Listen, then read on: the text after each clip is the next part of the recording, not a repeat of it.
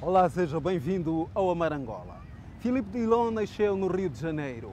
Vem a Angola desde 1998, numa época delicada do país. 15 anos depois está encantado com o rumo da nova Angola. Admirador, confesso, da maneira de ser e estar dos angolanos, Lipe Dilon é um dos impulsionadores do projeto Amizade Angola-Brasil.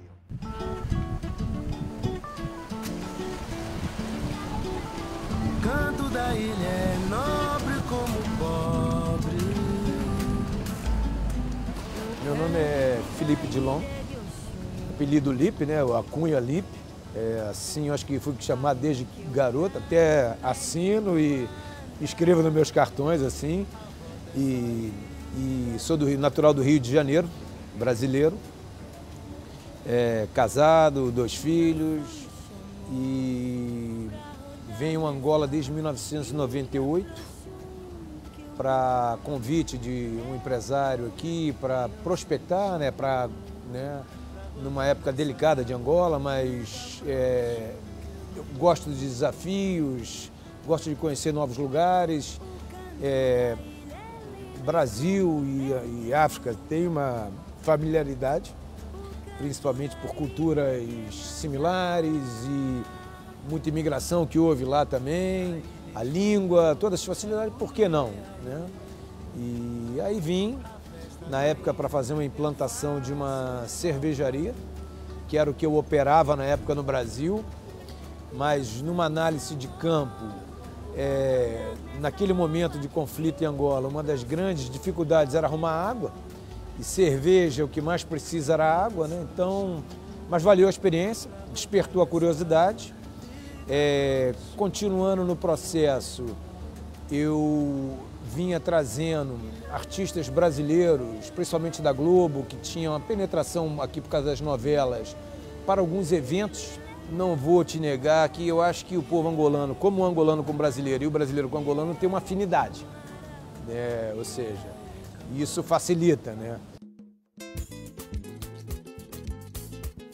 Já de cara houve uma identidade, né? Eu me lembro que a primeira entrevista que eu fui fazer me levaram para a LAC, ou agora eu me lembro que a LAC, que me impressionou que era uma entrevista debaixo de uma mangueira.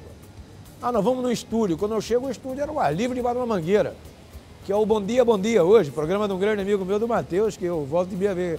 Mas aquilo me marcou, ah, nós vamos para um estúdio e é debaixo de uma mangueira.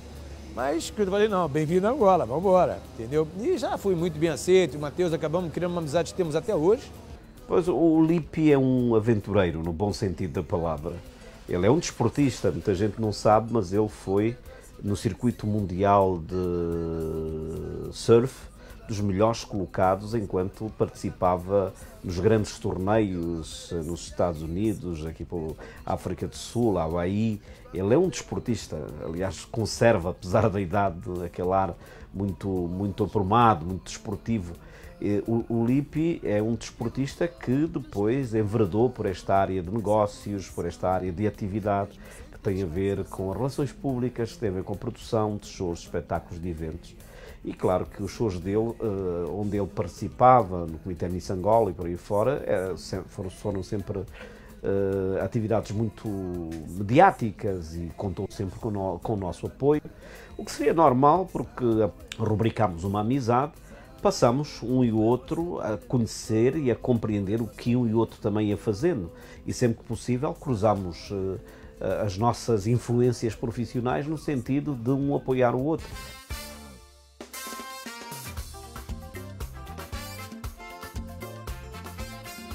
E aí quando fui convidado a vir e, e assumir o Comitê Miss Angola e montar essa, uma produtora, né?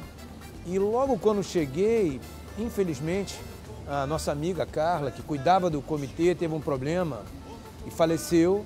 E aí caiu no meu colo. Eu me lembro que a primeira coisa que eu fiz foi reunir todos os comitês provinciais.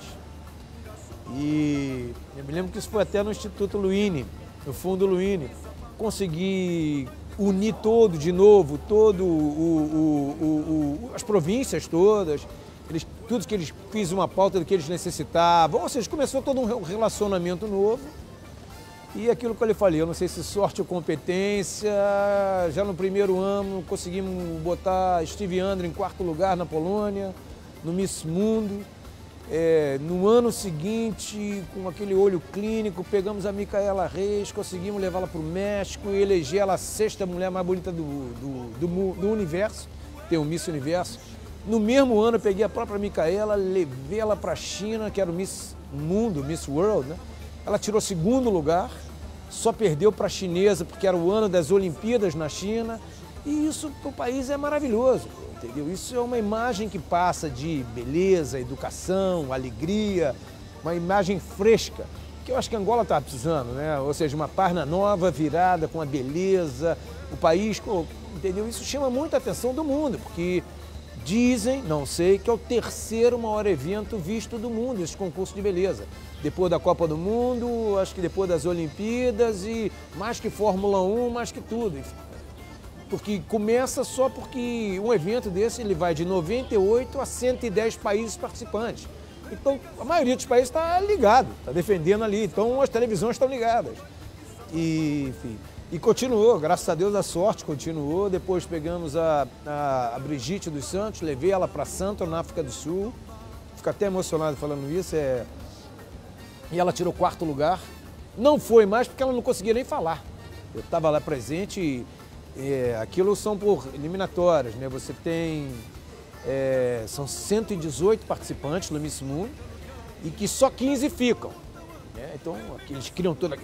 E você vê aquelas 103 mulheres lindas, maravilhosas embora, chorando, e ficam 15. Eu falei, caramba, Brigitte está lá. E aí eles botam aquelas músicas, dum dum, dum, dum, aquele coração em Santa, no auditório, 3 mil africanos, a maioria africanos, sul-africanos, e tinha uma, uma sul-africana.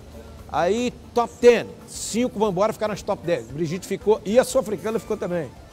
Aí criam aquela expectativa, uh, top 5. A sul-africana foi e a Brigitte era a única representante da África.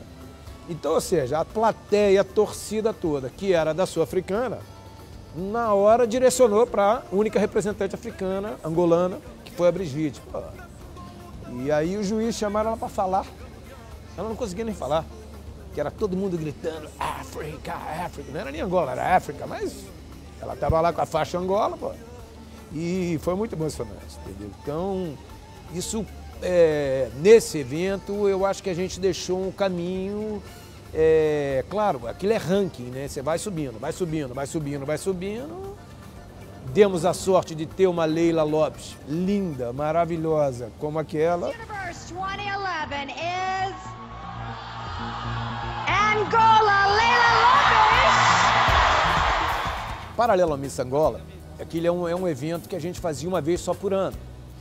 E eu me sentia com mais capacidade de fazer outras coisas, né? E e um bom relacionamento que tínhamos, temos com a Rede Globo, é, e, e, eles têm um projeto lá muito ambicioso que é o Brazilian Day, que é artistas brasileiros que a Globo leva para Miami, Nova York, então fecham quarteirões lá para ver, por causa das comunidades, vai para Tóquio. E queriam trazer para cá, mas e aí, falei, opa, peraí, vamos trazer sim, mas Brasília, num país que a gente fala todo mundo português, vamos. Aí criamos o Dia da Amizade Angola-Brasil, né?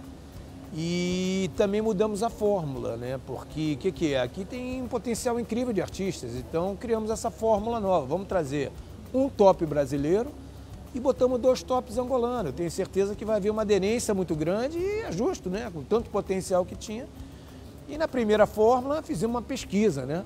Pô, quem é o artista brasileiro? Eu me lembro que até nas candongas tinha escrito Calypso, Calypso. Eu falei, pô, é Calypso que tá a bater. Fiz uma pesquisa de mercado, então vamos trazer a banda Calypso. Com a TV Globo tem facilidade. E fizemos o primeiro, Banda Calypso, mas primeiro Yuri da Cunha, Viola Semedo e Banda Calypso. Foi um